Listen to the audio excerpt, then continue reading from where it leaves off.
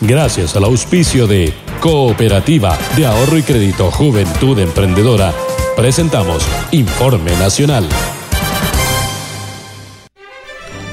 El presidente de Haití, Michel Martelly, se reunió hoy con el mandatario Rafael Correa, con quien analizó relaciones entre los dos países. Martelly y Correa dieron una rueda de prensa conjunta en el Salón Amarillo del Palacio Carondelet, previo a la firma de varios convenios de cooperación. El presidente haitiano arribó anoche a Quito. Esta mañana acudió a la Escuela Militar Eloy Alfaro, ubicada al norte de la capital de la República. Luego en la Plaza Grande colocó una ofrenda floral al pie del monumento a los héroes de la independencia.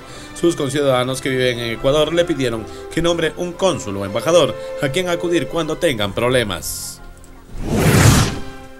Ecuador busca delinear estrategias para afianzar los flujos de comercio entre Ecuador y los Estados Unidos.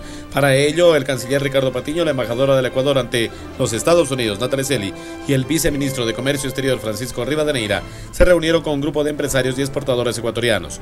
La embajadora Natalie Celi presentó un estudio que será una herramienta de trabajo para delinear la estrategia que impulsa mantener los flujos comerciales que actualmente están amparados con las preferencias del ATPDA y que no están cubiertos por el Sistema General de Preferencias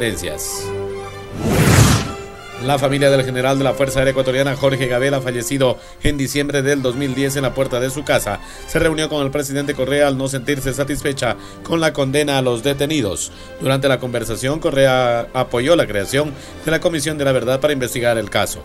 Ochoa considera que el personal de la posible comisión debe estar integrado por personas completamente independientes a la Fuerza Aérea. Algunos documentos delatan que algunos oficiales de la Fuerza Aérea estaban involucrados en el seguimiento de mismos. Una comisión de la verdad para desentrañar este crimen, así lo haremos, pero no permitiremos que quede la más mínima duda